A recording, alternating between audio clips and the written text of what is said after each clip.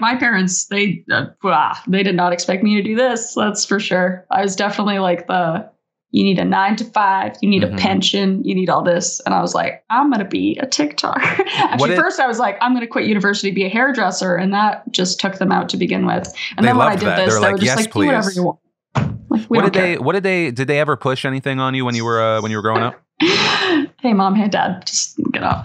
Um, yeah, yeah, for sure. Um, for good reason. I understand their reasons. Like they didn't want me to get into drugs and all this stuff, so mm-hmm. they made me do every sport under the sun, and I ended up getting like a scholarship and all that kind of stuff when I went to university. Like I, I played soccer and everything, and then uh, like extra academia and all mm-hmm. that kind of stuff. And then obviously th- their expectation was that all of us, I had five siblings, but that we'd all get degrees and get good jobs and so on and so forth. And yeah, so when I decided to that I didn't I didn't know what the heck I was doing in university. And I just I've always liked working for myself and doing mm. stuff mm. with myself and being an entrepreneur and all that kind of stuff. Like since I was 14, I've always had like two jobs. And one of which was my own business. I was like cleaning houses to begin with. And then I was like, I did anything to just yeah. be my own boss because it's the best. Like I don't, I don't, and you just have, and then I was a hairdresser, but I worked for myself. So that was great. And then I did this and I'm like, cool, I'm working for myself again. Like this is going my way. Like this is great. so it all kind of worked out in my favor. And now my parents, I can do the I told you so to my parents, mm-hmm. which is kind of fantastic. It's so. a great feeling.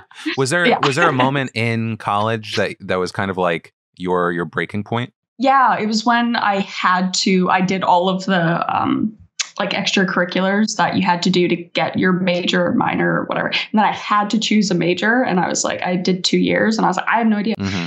And I, I, was just, I, I was doing it to make my parents happy, which what most of us do that.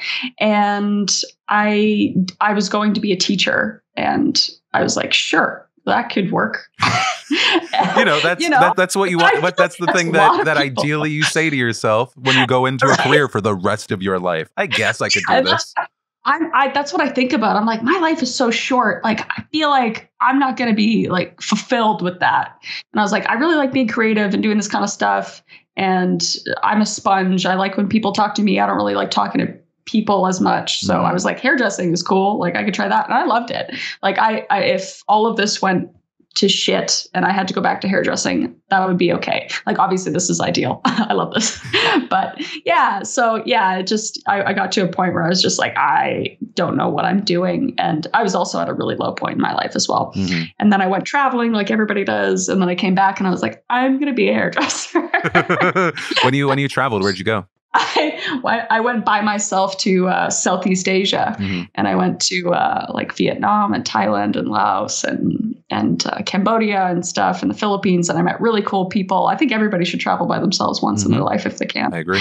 Um, but yeah, and then I came back and I was like, you know what? Like, I just I want to do what makes me happy. So that's what made me happy at the time, and yeah, it was cool. It was cool. Yeah, I love. I mean, I, I, I say yeah, everyone should. I've never traveled by myself. I've always gone with my wife. She's the one that kind of like yeah. forces me to. But you saying that it reminded me. uh Even it was before we got married, but she was like, uh my wife was like, or my girlfriend at the time was like, I, I kind of just want to travel, and I was like, yes, do it a thousand percent. Especially by by herself. Uh, I know she when she did it by herself, she enjoyed it a lot more than when she went with a friend. Not anything negative with a friend but it's just you. you. get to be your own person like it's very yeah. it's very easy in a group to to like fit into a role rather than like it being about you 100% yeah, and I was with my boyfriend at the time. Right now, we've almost been together for six years, yeah. but we had only been together for a year. And I was like, so I'm going to leave for like a month. it's not about okay. you.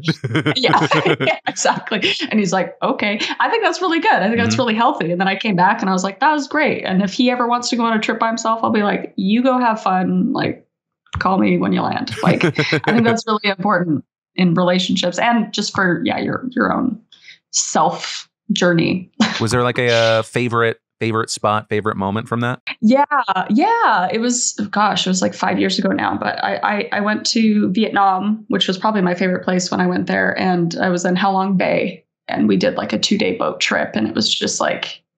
It was like you were an avatar. Like it was crazy. There's just all these cool mountains in the water. You felt like you were on the sky. It was it was really cool. And that's like the time where I was really by myself. Like I made friends along the way, mm-hmm. but then I did that by myself. And it was, uh, yeah, it was really cool. We did like yoga on top of the boat and on top of like a mountain. It was great. It is, it, it is yeah, I was going to say, it is interesting that like us just experience the experiencing the planet as it can naturally be without us astroturfing it that it, exactly. it can be such a it, even like uh okay so i don't believe in like any of the energy bullshit and stuff like that. But there is something I inherently get from like if I'm doing a hike or even just in my own backyard now, because I'm, I'm very fortunate enough to actually have like about an acre right now to to nice. go shoeless in the grass and just feel like I'm not yeah. I'm not in this thing that was destroyed by man and made for me. It's right. Granted, it could be uh I had that thought when I was I was very very high at one moment and I was doing that, but it's always yes. stuck with me. It's always stuck with me. and that's okay. You got to have those moments. You know, I live in the middle of a forest now, so I totally get what you're saying mm-hmm. on about an acre. Um, but yeah, it's it's very nice. It's very. I think everybody, if they can, should have some sort of nature in their life. I need it personally. Mm-hmm. I, am not a big city person. I could never live in the middle of a city or anything, and that's probably because I come from a little farm town.